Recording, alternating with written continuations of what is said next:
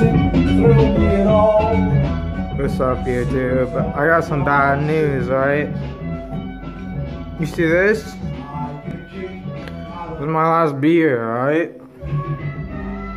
I need more. I'm too drunk to drive, so I can't get more. You know what I mean? You know that feeling I'm not. I try, but you know how it goes, you know. You don't really want to risk that shit. But, uh, you know, you know how it is. Anyway. I had like, what, like 15 beers today? You know what I mean?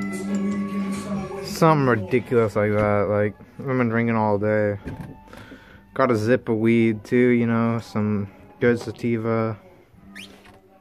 Forget the name right now. Of the strain and shit.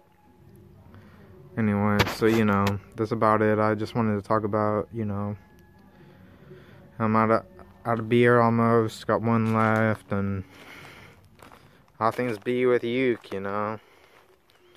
That's about it. So I'll see you later, YouTube. Catch you on the flip side.